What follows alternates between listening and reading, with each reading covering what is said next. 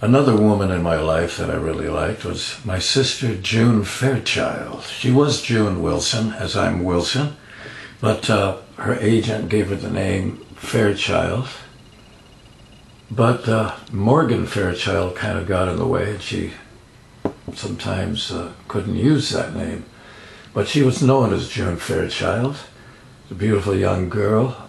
She's my sister. I lost her a couple of three years ago and I miss her, and um, I thought I'd do something for her. a song that would be, you know, very nice for her. Something like this.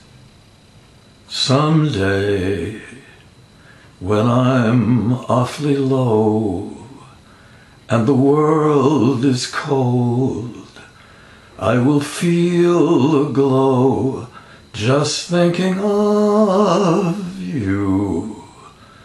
And the way you look tonight. Just a short version of that famous song, and for the way that June looked tonight. June was a little bit on the younger side here. And thank you for listening.